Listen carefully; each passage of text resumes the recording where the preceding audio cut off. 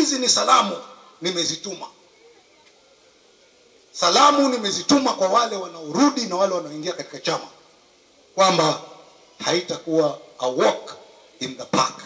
Wakati huu ni wakati wa mageuzi. Wakati huu ni wakati wa kujiuliza ni nani ambaye anaweza kuwa kiongozi bora, na hilo haliwezi kufanyika bila kufanya mageuzi.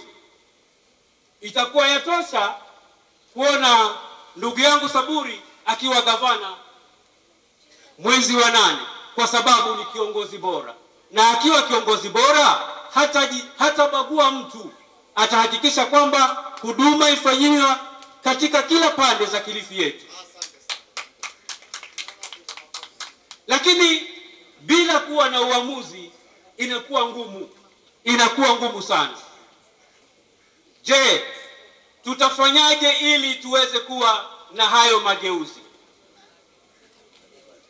Tutafanyaje ili tuwe na hayo mageuzi?